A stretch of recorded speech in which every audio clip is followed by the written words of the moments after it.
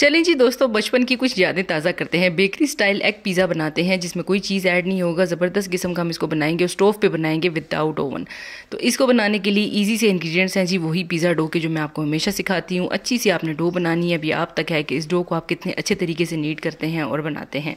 Oil add करेंगे last में और नीम गर्म पानी की मदद से अच्छे तरीके से आपने सॉफ्ट सा डो बना लेना है। अब इस डो को जी राइस कराना है वन आवर के लिए। इसकी फिलिंग बनाने के लिए बहुत ईजी से इंग्रीडियंट्स हैं जी। ऑयल लेना है चॉप हुई हुई प्याज मैंने एक मीडियम ले ली थी और हल्का सा कलर आ जाए तो बस ये आपने क्या करना है? ग्रीन चिलीज़ ऐड करनी है, बॉयल्ड चिकन है, उसको मिक्स करेंगे। उसके बाद मैंने गार्लिक पाउडर लिया था, आप ले सकते हैं गार्लिक पेस्ट भी, उसके बाद नमक ग्रीन चिलीज़ और ये इजी इजी स्पाइसेस आपने ऐड करने मैदा डालेंगे लास्ट में हम दूध शामिल करेंगे तो इसकी फिलिंग को होल्ड करेगा और बहुत ही अच्छी सी फिलिंग बना देगा। अब ये डन हो गई थी और ये देखें जी डो भी कितना अच्छे से राइज हो गया था।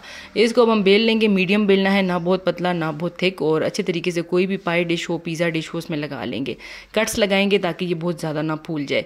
उसके बाद आपने क्या करना है जी पिज़्ज़ा सॉस या चिली गार्लिक सॉस ले लेनी है और जो फिलिंग हमने प्रिपेयर की थी वो इसके ऊपर अच्छे तरीके से आपने प्रेस कर देनी है।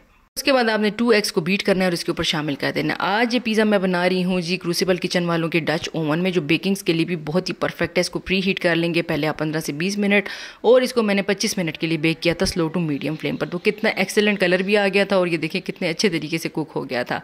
इसको ज़रूर ट्राई कीजिएगा और क्रूसिबल किचन के डच ओवन को ज़रूर जाके चेकआउट कीजिएगा।